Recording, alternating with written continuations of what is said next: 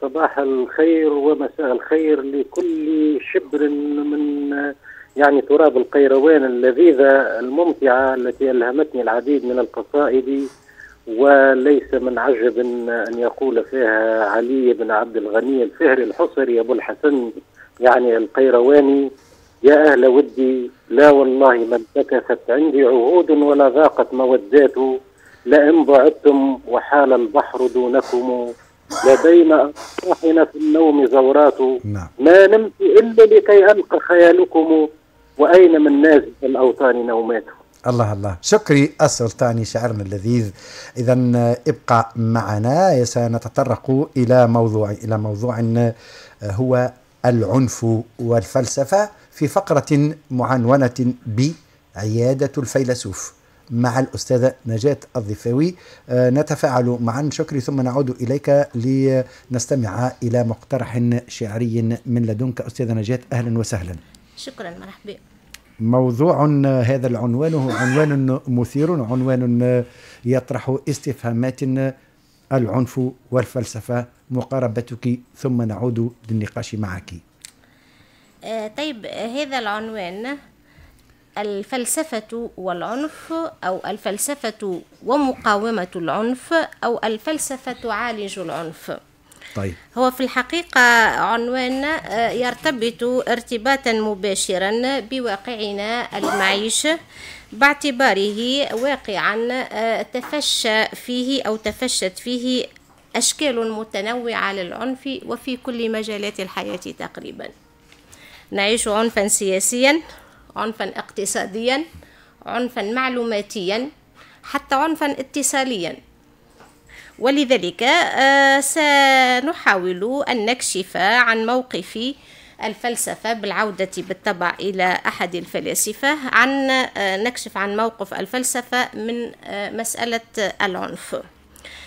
واخترنا في هذا السياق موقف جورج جيزدورف باعتباره معاصرا.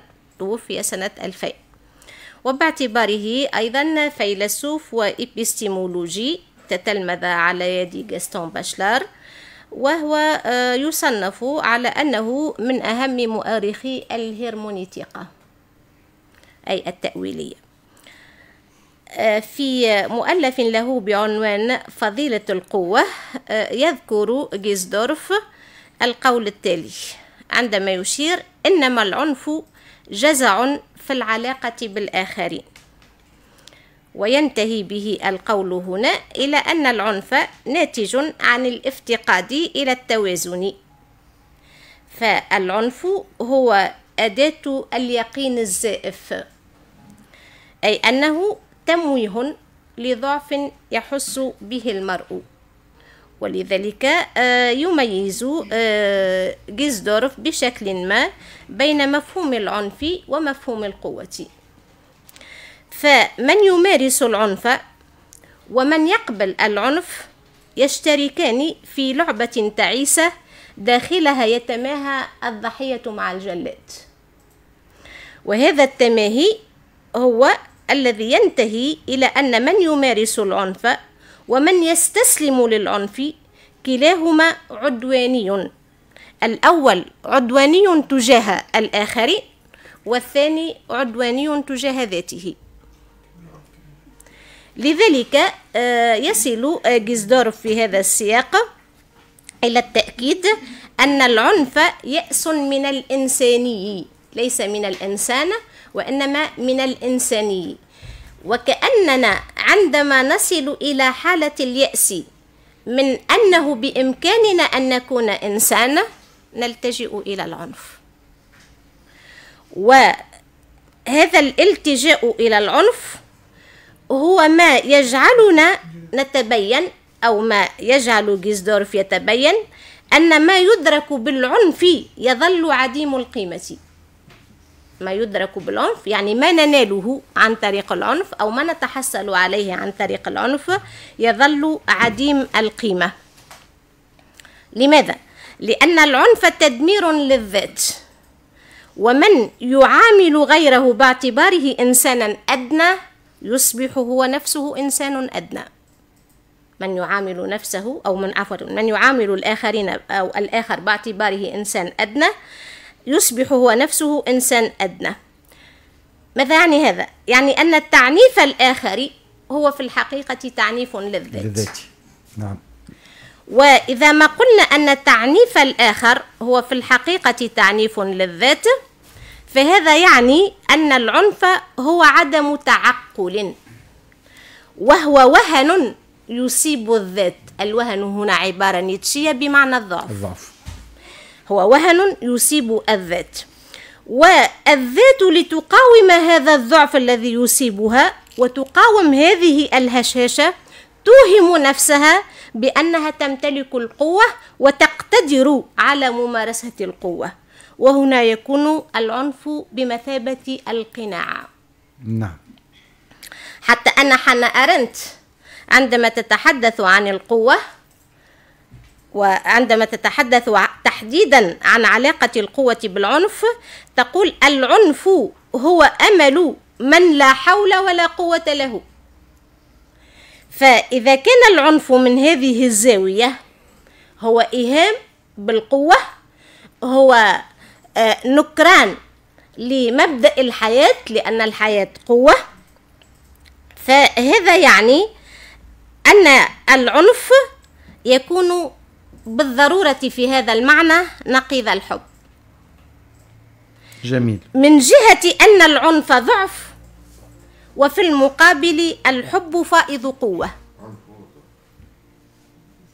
العنف هو العنف هو ضعف والحب فائض قوة. وفي هذا المعنى يذكر كارلي أندرسون قوله التالي إذ يقول في الحضارة عندما ينتهي الحب نلجأ إلى العدالة. وعندما تنتهي العدالة نلجأ إلى السلطة. وعندما تنتهي السلطة ننتقل إلى العنف. إذا العنف يأتي كحل لمن ليس له حل. وبهذا العنف كما قلنا يتعارض تمام التعارض مع معنى القوة. جميل. لكن هنا. يجب أن لا نخلط بين النظرة الأخلاقية للقوة وهذه النظرة الهرمونيتيقية للقوة.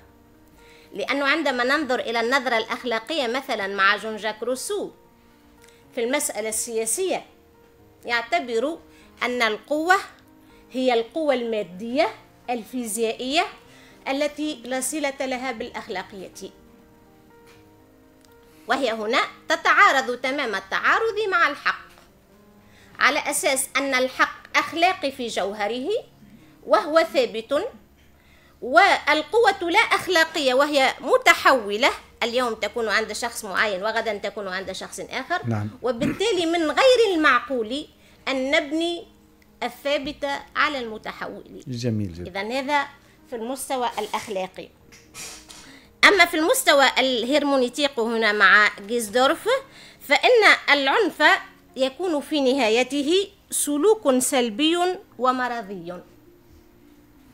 وإذا ما تكلمنا عن العنف بهذه المعاني فإن الفلسفة تتقدم بما هي معالجة لهذا المرض. ولذلك نحن في عيادة الفيلسوف. ولذلك نحن في عيادة الفيلسوف. كيف تعالج الفلسفة هذا المرض؟ في الحقيقة عندما ننظر في تاريخ الفلسفة المعاصرة نجد معالجات كثيرة لهذا المرض. فنشر ثقافة اللاعنف مثلا والتي ابتدأت مع حتى منذ غاندي وحتى مع إيريك فيل. والاهتمام بمعاني التضامن والعيش المشترك والصداقة والهوية الإنسانية المركبة وإتيق التواصل كلها مشاريع فكرية فلسفية تناهض العنف. وهي مشاريع تجعلنا كما يقول جيزدورف نفهم الإنسان باعتباره شخص لا يكتمل إلا مع الآخرين. وباعتباره يكت... لا يكتسب قيمته إلا داخل المجموعة. وحتى كلود ليفيستروس له موقف في, في هذا عندما ينقد فكرة المركزية الثقافية الغربية ويعتبرها فكرة استعمارية. لأن هذه الفكرة ستقسم الثقافات أو الحضارات إلى حضارة قوية لابد أن لابد أن تظل هي المركز وحضارات هي هوامش مسيرها الاندثار إذا ما لم تنخرط إلى حد الذوبان في الحضارة المركزية, المركزية التي هي نعم. الحضارة نعم. الغربية نعم وهنا آه، آه، تطرح مسألة علاقة الهوية بالكونية وهو موضوع حضاري بامتياز نعم. فالهوية أو الخصوصية الثقافية كما يقول تايلور لا تصبح ثرية ولا تصبح غنية إلا بالانفتاح على الآخرين على الآخر. الآخر الثقافي نعم. لكن هذا الانفتاح لابد أن يكون انفتاح مسيج. بمعنى انفتاح لا يذهب إلى حدوده القصوى حتى يتحول إلى ذوبان. إلى ذوبان إلى ضياع في الآخر وتلاشي فيه. في الآخر. نعم. وإنما هو انفتاح بمعنى أنه انفتاح يجعل الخصوصية سبيل إلى الكونية. المحلية من أجل العالمية. أكون أنا موجودا وأنفتح نعم. عنك. هذا الحد هو الفاصل بين ثبات الأنا وتلاشيه. إن بقيت أنا ماثلا متعاملا معك منفتحا عنك فأنا في إطار هذا الحد المطلوب إن أذبتني وضعت فيك فمعنى ذلك أنه الذوبان نعم هناك لود ليفيستروس يفتح حتى قوسا حول مسألة التواصل وآليات التواصل. نعم. يقول مشكلة واقعنا اليوم أننا نعيش إفراط في التواصل. هذا الإفراط في التواصل خاصة مع وسائل الاتصال الحديثة. نعم.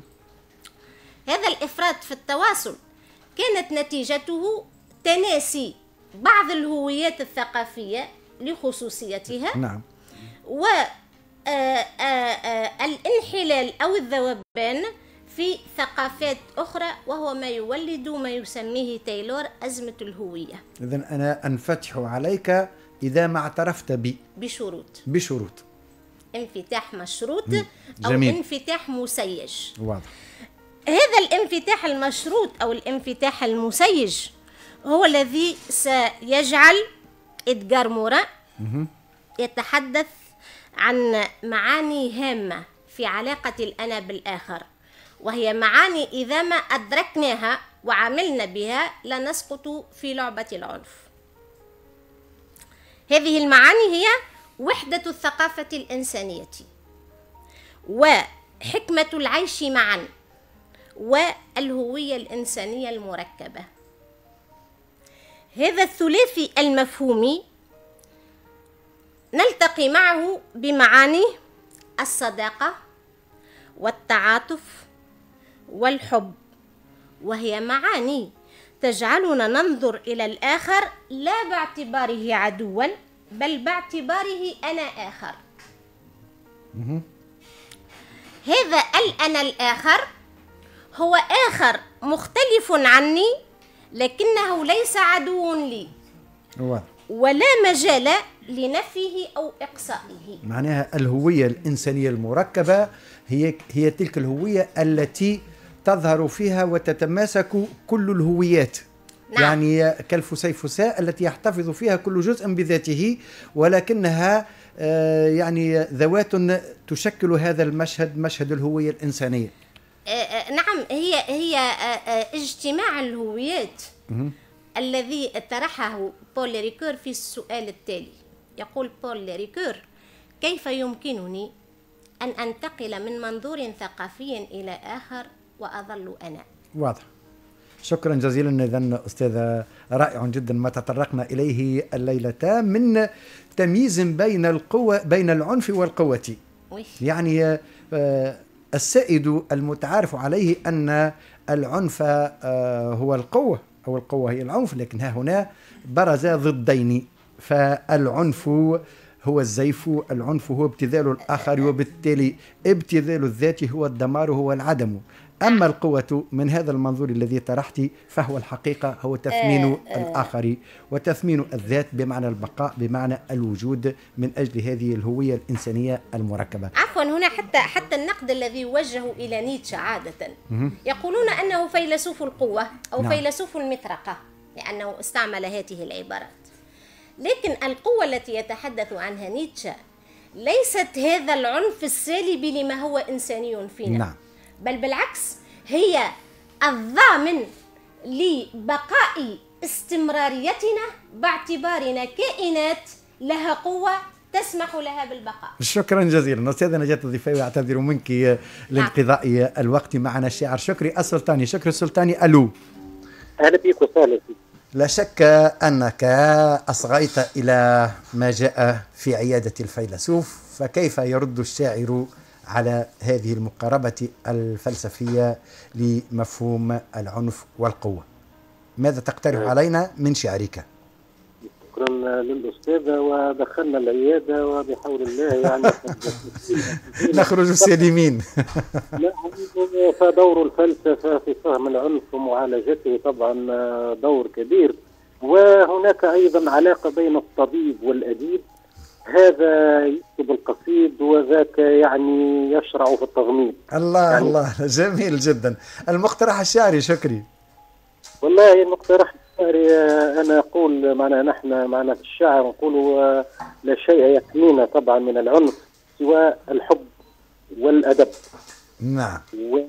نعم الحب والأدب كلاهما أيضا يعني هو دواء ولقد شفى نفسي وابرى سقمها قال قيل الفوارس ويك عنتر أقدمي أقدمي عنتر يشفى بالحرب نعم وأنت تشفى بالحب لا لا لا حياة بدون حب يعني يعني عيشة حب فيها صباح فخر ربما نسمعها بعد ول لا ماء فيه لا ماء فيه وإحنا نتفرجك يا عبد المجيد اسمعنا صديقي اسمعنا على كل حال تحية إلى كل الأصدقاء وأنت الذي دائما وقد هبطت يعني أرضنا هذا المساء وعند المساء أقرأ هذه القصيدة آه، شوق الحياة. وفي للإهداء إلى كل المستمعين في إذاعة الحياة. أقول بالحب والفن تحلو الحياة. بالحب والفن نهزم الجهل والحرب والحقد والظلم وأسباب السبات. بالحب والفن نسمو. بالحب والفن نسمو وتحيا الشعوب الأبية والكائنات. بالحب والفن ندرك معنى الوجود فنخلع ليل التحزب ليل التمزق ليل الخفافيش التي سكرت من دم عربي فرات. بالحب والفن نعشق كل زميل ونحلم نحلم نحلم أوسع من حلمنا. يا وطنا فوق محل الشمس عزته. وأطماع الغزاة. يعني آه هذا يعني بالحب جميل كيف؟ جميل رائع. آه؟ بديع يعني يا شكري. نعم. والشعر كما تعلم أخي عبد المجيد كما يقول نزار قباني الشعر فعل رقي وحضارة وبطبيعته مع الشمس ضد العتمة ومع الوردة ضد المسدس ومع الليبرالية ضد القمع ومع الحب ضد الكراهية ومع المشنوق ضد حبل المشنقة. ونزار يعني يكاد يخرج عن تعريف الجاحظ أصل السابق للشعر الشعر فضيلة العربي. يعني إلا بتفصيل ما يعني يمكن أن نفصله وله شروط في ذلك. يعني الشعر خطاب نكتبه للآخرين خطاب نكتبه إلى مرسل إليه يبحث عن الشفاء وإلا طبعا تحولت الحياة إلى يعني لوحة يابسة. ولماذا يعني يعيد موزع البريد قصائد الشعراء إليهم يعني يعيد إليهم رسالتهم. نعم. لأنهم عنوان يعني الشعب الحقيقي. يعني عندما أنت ترسل رسالة ولا تكتب فيها عنوان الشخص المرسل إليه يعود إليك ساعي البريد. يعني يأتيك ساعيا ويقول لك هذه رسالتك ردت إذا إليك. وهذا ما جعل القصيدة العربية الجميلة التي تخرج يعني من حنايا الأضلع تنتهي مباشرة إلى القلب والشعر إن لم يهززك عند سماعه كما قال الشيخ الزهاوي يعني ليس جديرا أن آه، يقال له شعر.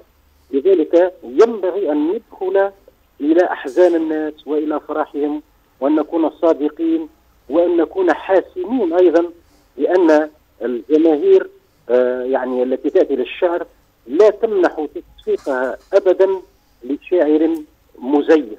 لشاعر يعني آه، يريد أن يمررها يعني هكذا يعني خلطة زقفونا كما قيل. إذا لا نتساءل لحظة في أن لا نقول آه، ذواتنا. شكرا سلطاني. يعني. الفريق التقني عنون صورتك بشعر قيرواني وأنت قيرواني الهواء. والحب والقلب والروح. يا شكري السلطاني أيها الرائع اللذيذ. آه، نقترح عليك مقترحا غنائيا من لدن المايسترو معز بن سعيد والمطربة نجاح الرمضاني التي شرفتنا الليلة بحضورها البهي وصوتها الشجي. ومعك في الاستماع إليك ومعك شكري السلطاني ناجي العجبوني والأستاذة طبيبة الحضارة أقول نجاة الضفاوي. المقترح الغنائي ابقى معنا شكري السلطاني معز بن سعيد.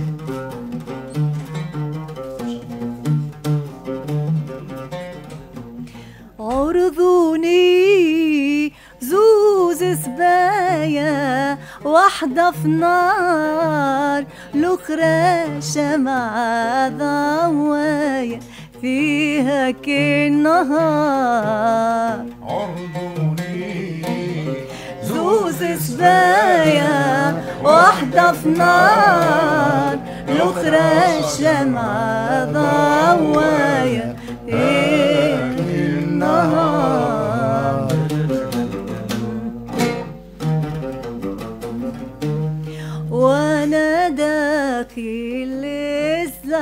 الزنقاك النهار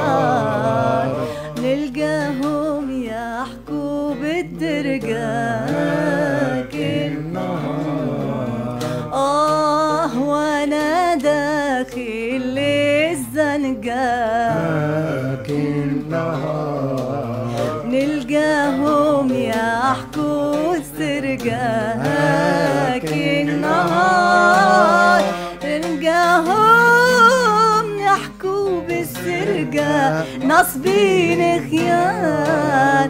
فالنبيعي وشرايا فيها كالنهار عرضوني. زوز سبايا واحدة في نار. الأخرى الشمعة ضوايا هاك النهار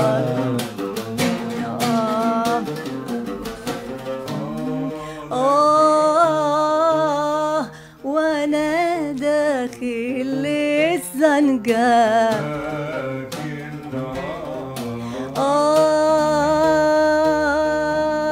حطيت ايدي على الحلقة.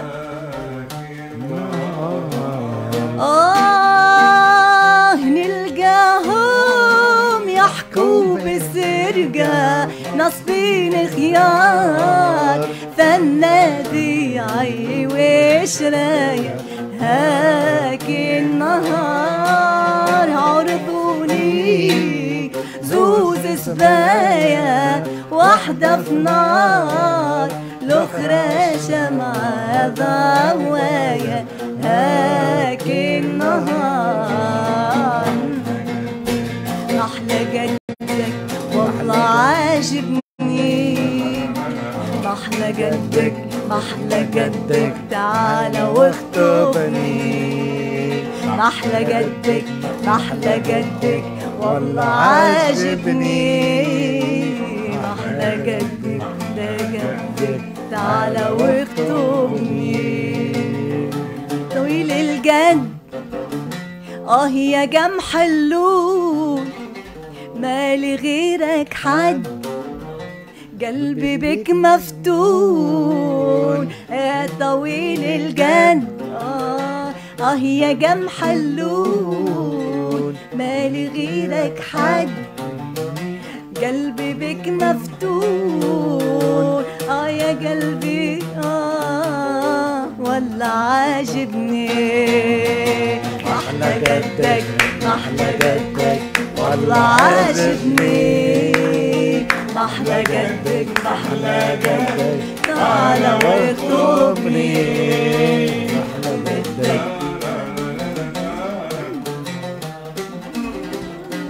كيف ما كيف ما أشوف العين تزين الزين. ان أشوف العين وانت زين الزين.